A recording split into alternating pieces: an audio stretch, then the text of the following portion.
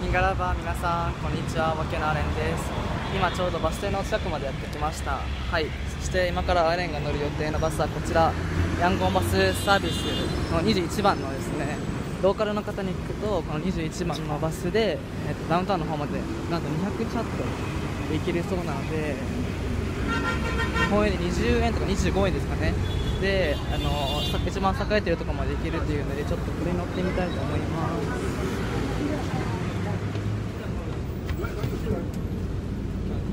あダウンタウンあダウンタウンはい。なんとか乗ることができました。ちょうど今お兄さんに200チャット渡したのでなんかヤンゴンのバスって最初にあの入り口手前の方からあのお金を払ってで中に進んでいって自分が降りたい時に降りるって感じです。市内だとどこでも200チャットで行けると思います。はい。でこのバスの中の様子なんですけどこんな感じでバスがバスの中に人がパンパンでしかもクーラーが入っていないんですね。はい。で常にドアもこういう感じで開けっぱなしでなんか人がいつでも入れるようになってます、はい。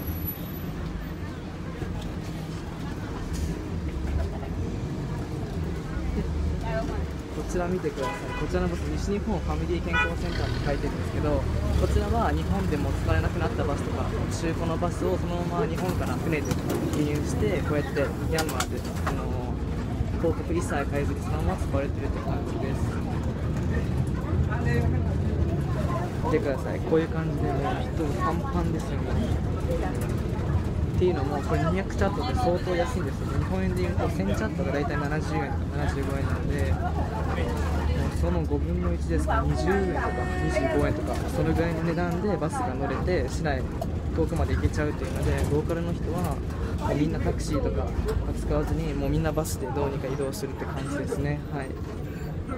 ヤンゴン電車もあるんですけど電車の方はまだまだ境まだまだあの開発途中なので皆さんこうやってバスに乗るのがですね。はい。でこういう感じであ今ダウンタウンの方に向かってます。じゃあ一旦この辺で動画の方は以上にしたいと思います。また後であのヤンゴダウンタウンに着いたらそのことを動画に上げていきたいなと思います。じゃ失礼しました